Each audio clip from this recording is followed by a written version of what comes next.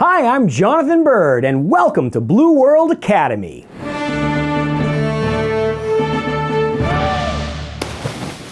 Hi, everyone. Today on Blue World Academy, I want to address a couple things from the Disney Pixar movie Finding Dory. Yes, I know it's an animated movie, fish don't talk, and we can give the directors a little creative license when it comes to marine biology. But on the other hand, these animals are based on real ones, and people tend to believe what they see on screen. So I'd like to set the record straight on a few things that Pixar got wrong. Spoiler alert! If you haven't seen the movie, don't keep watching. Stop! In Finding Dory, we discover that Dory learned to speak whale from a whale shark named Destiny.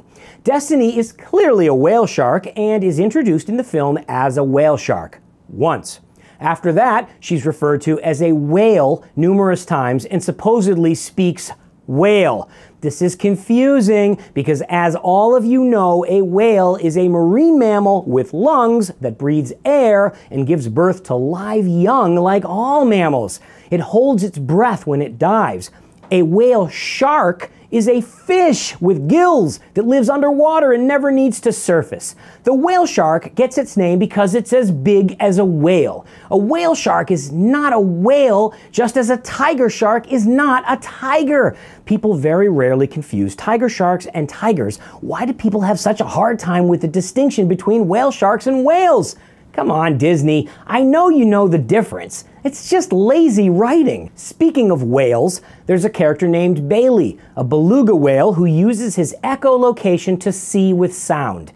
This is true, but there are two large inaccuracies in how this is portrayed in the movie. First of all, the sound is not produced by the mouth. Belugas don't go ooh to make the sound. The sound is produced internally and comes out through the melon on its head, which is kind of like a lens that focuses sound in the water. And because it's designed to work in the water, it will not work in air, nor would it allow Bailey to see over a mountain and inside a truck. The director took a little creative license with the power of echolocation on that one. Finally, one last comment. In the movie, Dory, Nemo, Marlin, and Hank are constantly jumping from one container of water to another. It's important that people realize that marine life can't do that. If these creatures, adapted for life in salt water, were tossed into a bucket or fountain of fresh water, they would die very quickly. Ocean water and fresh water are very different to marine animals. Do not put ocean life into fresh water.